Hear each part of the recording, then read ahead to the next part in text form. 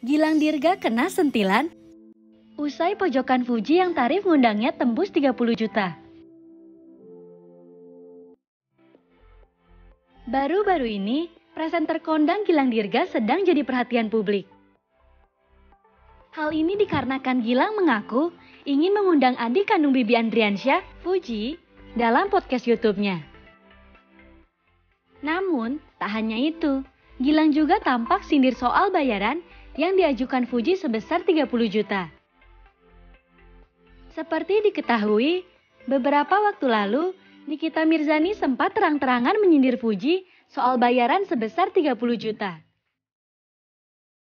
Fuji meminta bayaran itu saat ditawari undangan menjadi bintang tamu di podcast YouTube. Lantas, hal itu membuat Gilang penasaran dengan bayaran Fuji yang sebesar 30 juta akan digunakan untuk hal apa. Dikutip dari akun Instagram @lambetura, obrolan tersebut terjadi saat Gilang menjadi bintang tamu dalam podcast milik Kiki Saputri. Hal itu dikarenakan bayaran sang komika itu juga tembus 30 juta.